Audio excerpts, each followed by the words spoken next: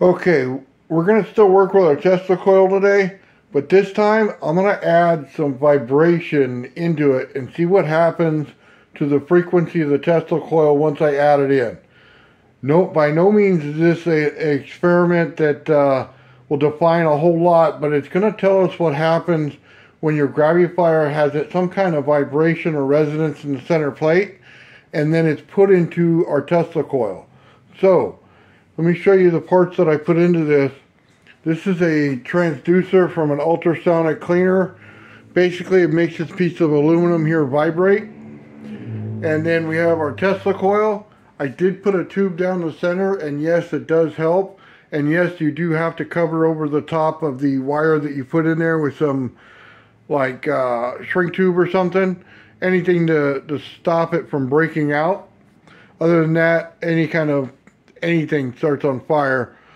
Uh, anyway, so let's fire it up and see where we get to.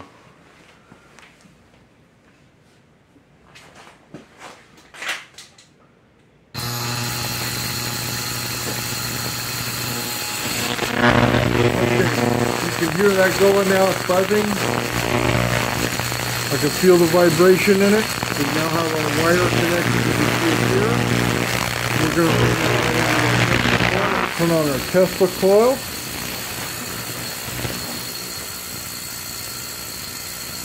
Okay, we're just going to bring it up to 40 like we normally do.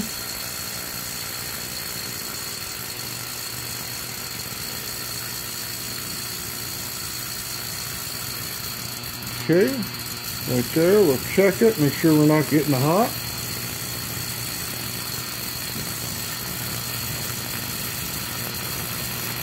Okay, right there. I think that's good. Now we're going to set this up right here so we can get the best sound possible.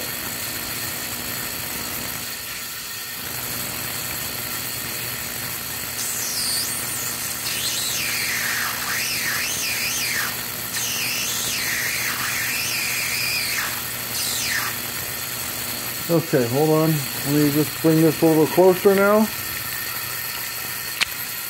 This is probably not a shock to anybody of what's going on here. We're just getting a frequency feedback from the vibration.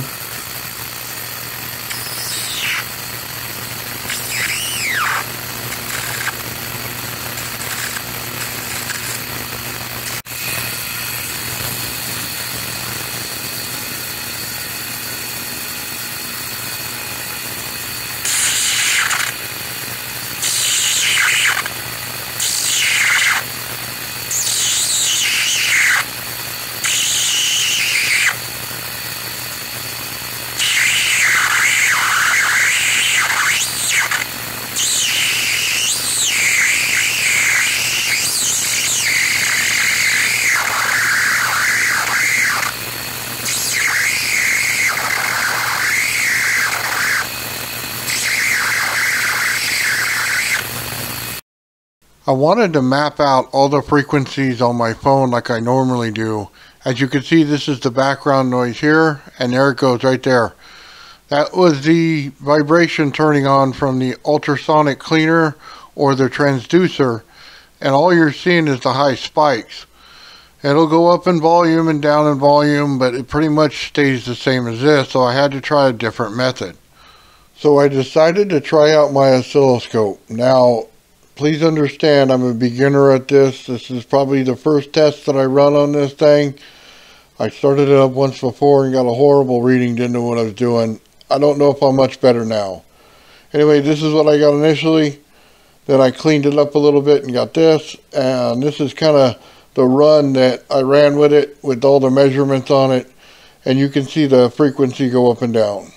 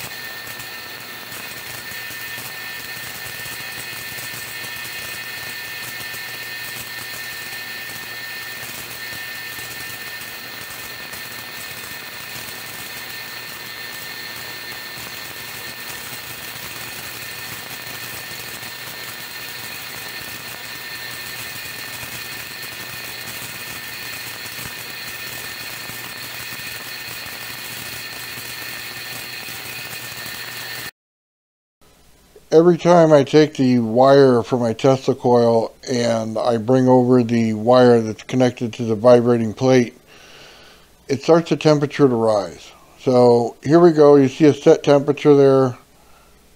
I'm trying to hold both, so please forgive me if it goes off course a little bit. But you'll start to see that I get into the 80s. I was usually somewhere in the 70s before. So it has more heat going into it.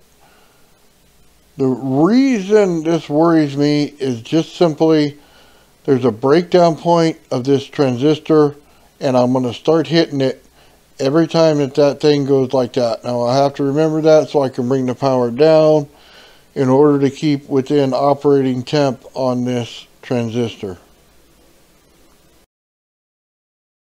As you can see here I taped the end of my wire. I'm going to bring it over to my Tesla coil. It is on but I'm getting no breakout there and no transfer over. Let's put it down in here in the tube.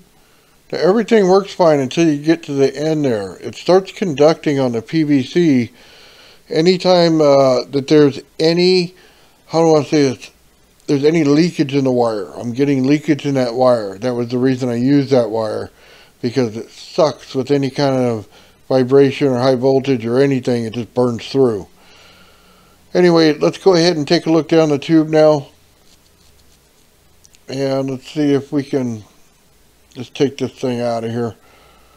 Let's see what it looks like. Now, nothing. Doesn't spark over, doesn't do anything. Now, just so you guys understand, this goes against what Alexi was doing in here, I think. I don't know if it's going to change the frequency at all. It hasn't, at this point, changed the frequency when I put the tape on there.